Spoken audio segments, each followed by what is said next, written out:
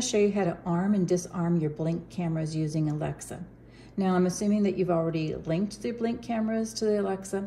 So what we're gonna do is we're gonna go ahead and enable the Blink Smart Home. So what we're gonna do is open the Alexa app. Okay, once you've opened the Alexa app, you're gonna go ahead and go down to the bottom of the page where it says devices and you're gonna click on devices.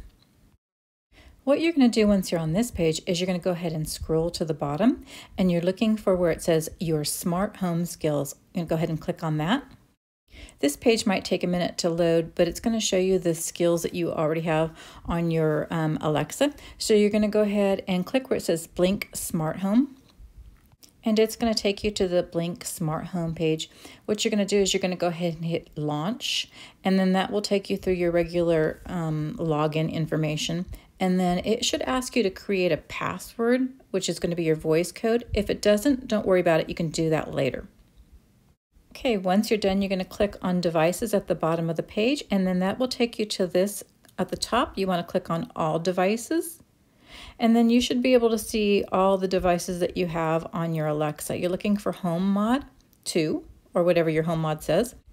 And here's where you want to make sure that you've enabled your home mod. So if it's on the gray, you want to go ahead and move the switch so that it's blue.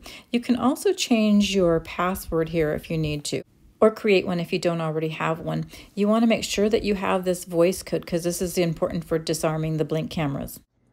All right, now that you have everything linked, you can go ahead and use the Alexa app to arm and disarm.